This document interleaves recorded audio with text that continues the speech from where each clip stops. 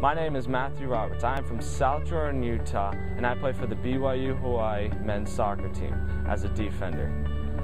I am a freshman majoring in history education, and my favorite thing about BYU Hawaii is that the beach is just five minutes away.